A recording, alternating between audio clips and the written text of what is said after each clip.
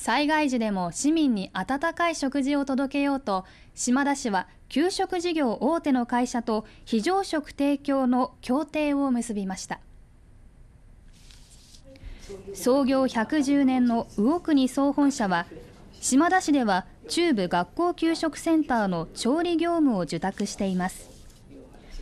協定締結式では染谷絹代市長と魚国総本社の広瀬啓二名古屋本部長が協定書にサインしました。協定では非常時の炊き出しに対する人的支援や非常食の提供また移動式の釜などの物的支援が盛り込まれています。